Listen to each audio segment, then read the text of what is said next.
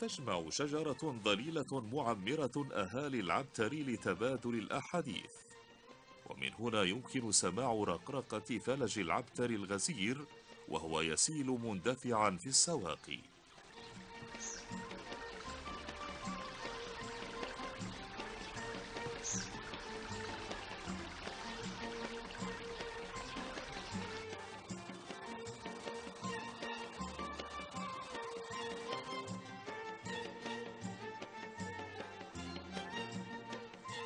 وكباقي أفلاج عمان يسقي العبتري حدائق نخل باسقات بينها زرع حيث تعد السلطنة ثالث أكبر منتج للتمور في العالم.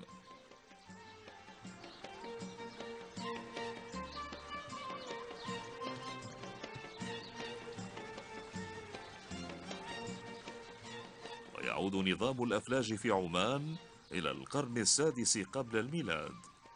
أي أن عمر هذه التقانة التقليدية الفريدة في السلطنة يبلغ نحو 2500 سنة. ويتم استخدام الفلج حسب نظام الدوران حيث يحول صاحب الزرع الماء إلى ساقية زرعه عندما يحين دوره. ويتألف نظام الدوران من وحدات تسمى الأثر ويبلغ كل أثر زهاء نصف ساعة.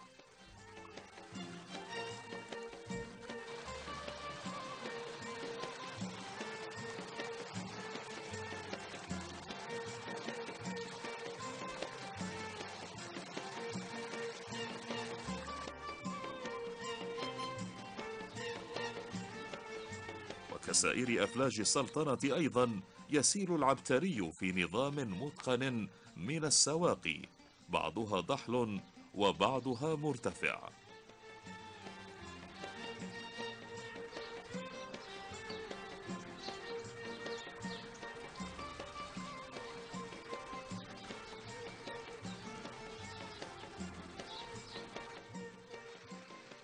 ويعتني أهل العبتري بالفلج ومياهه كما هي العادة في عمان منذ قرون كما يكدحون في زروعهم بحب ومثابرة كما يفعل سائر العمانيين في زروع الأفلاج في طول البلاد وعرضها.